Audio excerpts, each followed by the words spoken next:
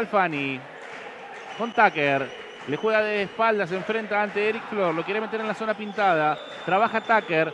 Va hacia su mano derecha. Se la cuelga. Terrible la Leyup entre Tucker y Justy Ferrer. Qué bien la hizo Tucker. Como parecía que iba a tirar al aro y se la puso al ladito.